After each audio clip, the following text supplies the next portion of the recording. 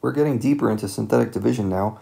Uh, it's time to learn how to use synthetic division to factor a polynomial, given that you know what some of the other factors are.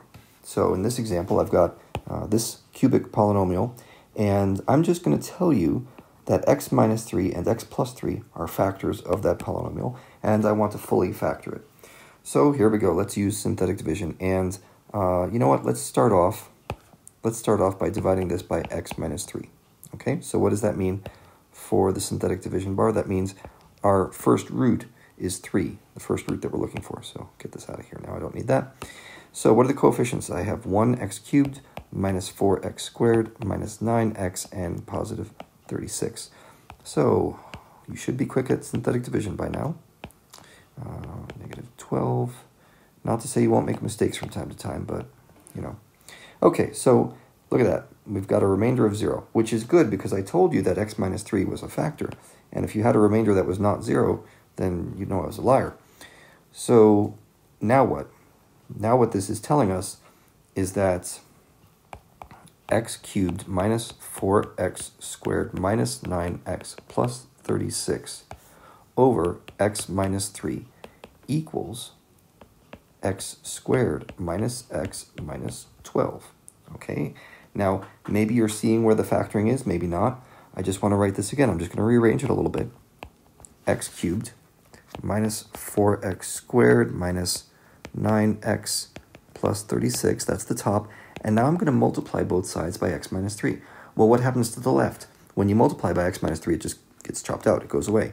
And it moves over to the right side, x minus 3. Okay, But I still have x squared minus x minus 12. Now, if you look at this for a moment, you realize what I've done here is I have factored out x minus 3. I've pulled out that factor from the larger polynomial here, and I've written this thing now in partially factored form. Okay, so this is good progress. And what I would really recommend is that you now factor this uh, with your normal techniques. You know, use the big X or whatever you like to do uh, to factor this guy. But for the sake of this video, I'm just going to go ahead and show you how to use synthetic division to continue factoring something after you factored one thing out. This is going to become useful later on. I'm not just doing this to waste your time. Uh, so let's take that synthetic division and continue on with it. What you do at this point is you draw a new synthetic division bar. And we have a new quotient. See this guy? Let's pull a different color in here. This is my new quotient. I'm going to now try to pull out that other factor. Remember x plus 3? I told you there were two factors. We're going to use x plus 3 now as a factor, and I'm going to pull that out. Okay, so this guy's in my way. Let's keep on going. That's 1, negative 3, negative 4 turns into positive 12, turns into 0. I'm glad to see 0 because that means, yes, uh, x plus 3 is also a factor.